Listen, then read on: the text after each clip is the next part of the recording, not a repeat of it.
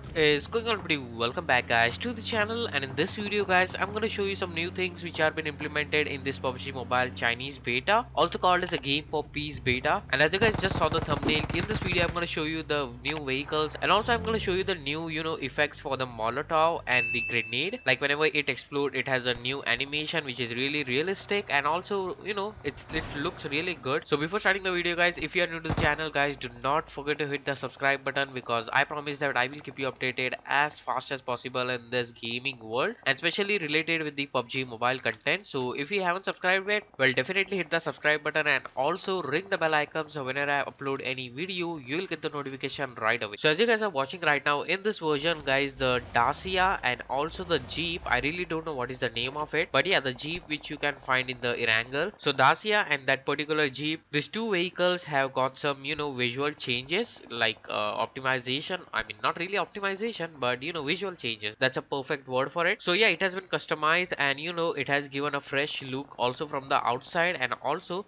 from the interior. Yeah also the interior of these vehicles are really really good you know in this update. And of course this will come to the global version also in the further update. So definitely watch this video till the end guys. I will not you know explain you guys every single thing. I mean you guys are pretty smart. After watching this you will definitely get to know what are the new changes and all. So yeah i really loved it. But yeah in my opinion i really really love the you know the changes which they have made to the interiors of the vehicle and also the exterior paint and also you know some kind of a graffiti which they have been added and also regarding to the animations of the grenade and the molotov.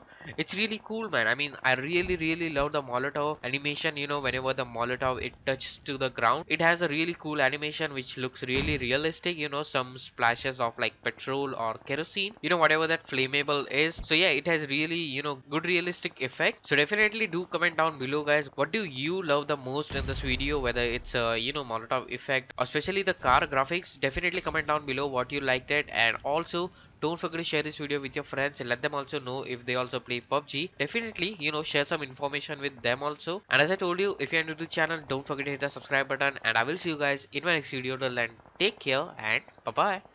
Enjoy the video.